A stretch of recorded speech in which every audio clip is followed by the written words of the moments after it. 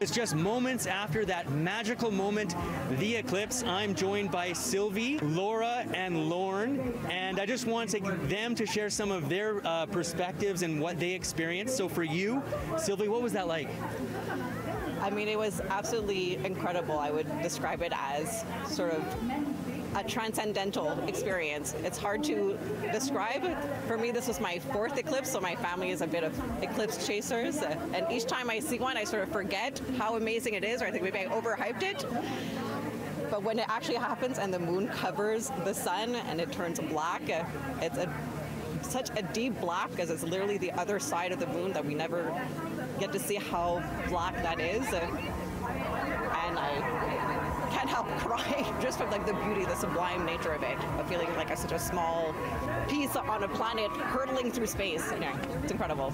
And for you, Laura, was this your first eclipse? So this was my first eclipse, and wow, what an experience! Not only to see the the, the totality happening, but to see it here in this atmosphere with all of these people, the incredible event that the Espace de la Vie and the planetarium have put on. Uh, what an atmosphere! What a moment! And finally, Lorne, this isn't your first eclipse, is it?